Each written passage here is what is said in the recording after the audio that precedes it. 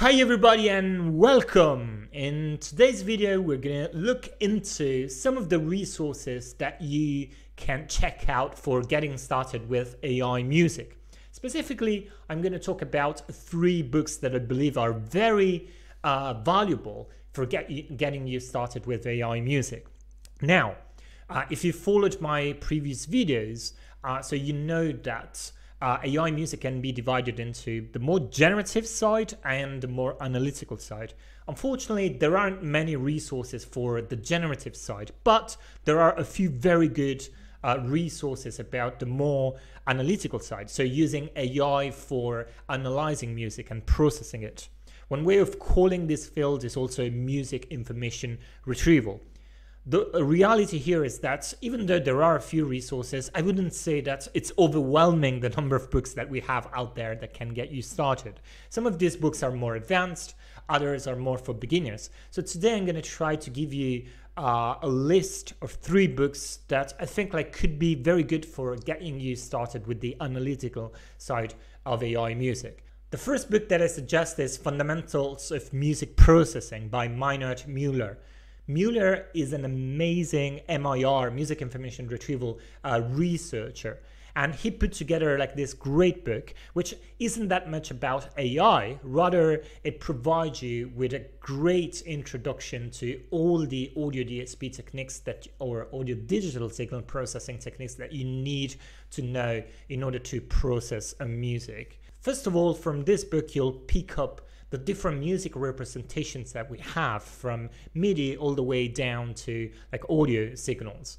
And the thing that I love about this book is that it is very thorough and it provides you with um, the, mathemati- uh, the mathematical details to understand some of the techniques that we use in music processing, like the Fourier transform, for example. And that is very rigorous, sometimes a little bit too much, perhaps if you're not that familiar with mathematics, but still, like it's very good to get you started. The whole idea of this book is that uh, it's divided into a number of different chapters that tackle different music processing problems. Some of these are music synchronization. So, for example, you have a piece of music and then you have a cover of that song, and then you want to synchronize those two. Other things are chord recognition, so extracting chords from uh, an audio signal, and also other stuff like tempo or bit tracking. So basically, uh, this is a great book because first of all, you're going to understand more or less what you can extract from audio signal in terms of musical uh, features, and at the same time, you're to get uh, start. You're going to get introduced to a bunch of audio DSP techniques to do that. I really like this book because it's very thorough, as I mentioned. So you are going to get a very good understanding of the theory behind all the things and so for that like is amazing. But i think like there's a little bit of an issue with the book which is that it doesn't provide any practical details like or implementation details necessarily which basically means that you have to figure that out by yourself. And if you are like a beginner it's not always like simple to uh, kind of like implement all of these mathematical uh, ideas. But uh, the great thing is that there is a, website that's called musicinformationretrieval.com where you have a bunch of Python notebooks which basically implement most of the ideas that you'll find in uh, fundamentals of music processing. The second book that I want to discuss today is by Markus Schedl and Peter Knees and it's called Music, Similarity and Retrieval. This is a very good book because it engages with all the things that are central to music information retrieval. So, uh, music search, indexing, and a recommendation, and definitely music similarity. Now, the focus of this book is on, again, audio. Uh, not necessarily like on the symbolic side of, of, things but i think like it, it does like a great job of introducing you to a bunch of like music features as the first step. So basically, you're going to learn a lot about like MFCCs, zero crossing rate, all of these kind of things, which I believe like are extremely important to know uh, your way around music information retrieval. And then the kind of treatment that uh, the authors have about uh, the topic is uh, divided into a number of different parts. So the first part is all about content-based uh, retrieval. Basically, it means that we are going to analyze an audio signal and extract information directly from the audio signal to make sense of these musical objects and represent them. So we're going to build a model of a song, of a of an artist, or, or of an album uh, using only content related features. So only things that come out from the audio signal itself. But then uh, the authors go uh, beyond this initial approach and they also look into contextual information. So what's contextual information? It's information that's like around the audio signal. So for example, it's all the meta data that you have uh, about a song, for example, uh, information about the artist, information about the band, all of these kind of things.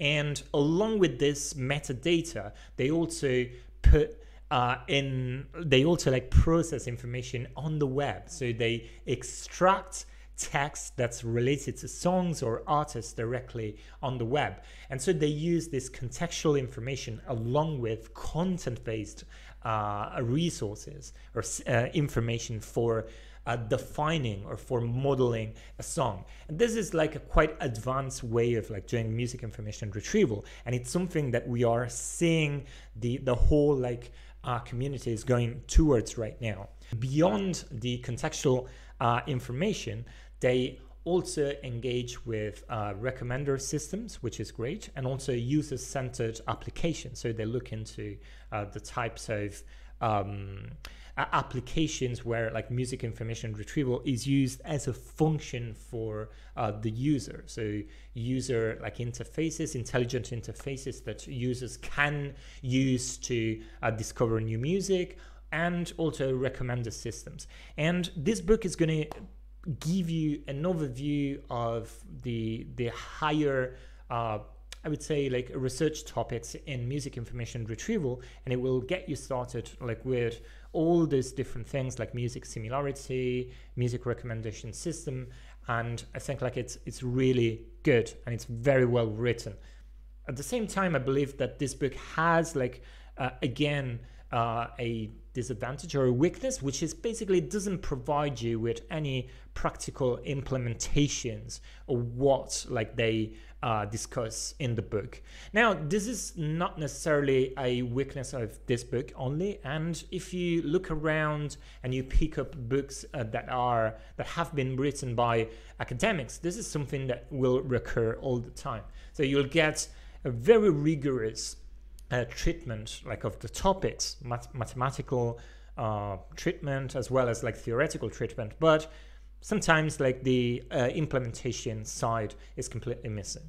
The third and final book that I would suggest you guys is called Music Recommendation and Discovery, and it's been written by Oscar Celma. Celma is now the mm, VP of data science, I believe, or VP of data at um, Pandora. And he's done amazing research, obviously in music discovery and music recommendation. And some of his research that he's done, uh, starting from his PhD, is brought into uh, Pandora. But the great thing about this book, apart from getting you started on uh, music recommender systems and giving you like a very good idea of like the different things that have been done like in in uh, the uh, the field, is also that it uh, gives you like a new uh, perspective of music recommendation.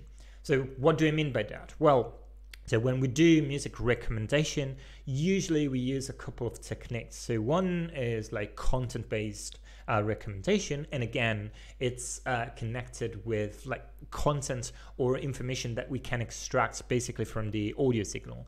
Then we have like another uh, technique which we uh, usually use, and guys like Spotify, Pandora, even I believe like they use it, and it's called collaborative filtering which is basically using the behavior of the users, of the listeners, in order to provide recommendations that may be relevant uh, for them.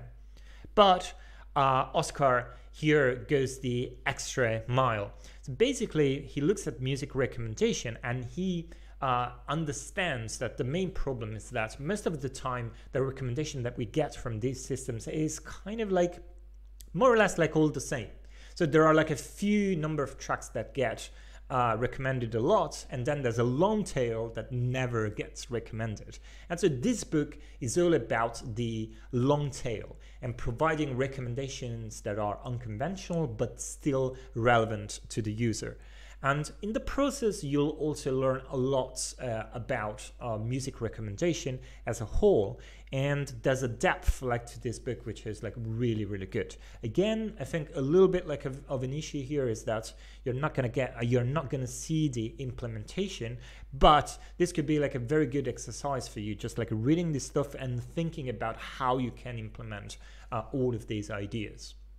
And here you have them, the three books that I suggest you to get started with AI music. Now, obviously, guys, like you could say, well, but there isn't any uh, deep learning like or AI necessarily like in these books. And I would say, yes, that's true, because like most of these techniques are uh, kind of like more like algorithms or just like uh, things that come from audio digital signal processing.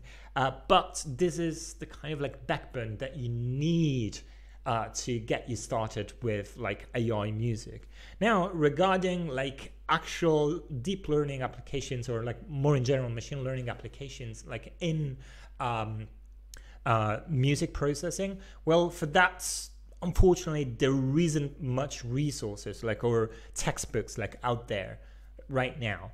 So uh, for that, you will need to take a look at the research papers. So, for example, you can check out ISMIR, which is the International Society of Music Information Retrieval. They have a website. and there, you can find all of the cutting edge research. The problem with that is that the informations are like kind of like scattered, and it's difficult to read these like quite advanced research papers. But uh, because of that, uh, you may know by now, but I'm writing a book on deep learning for audio, and this is going to be like a very interesting like journey. So if you want to like learn more about that, you can check out this video. You should find it somewhere like over here, and I hope like this was like uh, an informative video for you guys. If you have any questions, as always, please post them in the comment section below, and I hope I'll see you next time. Cheers.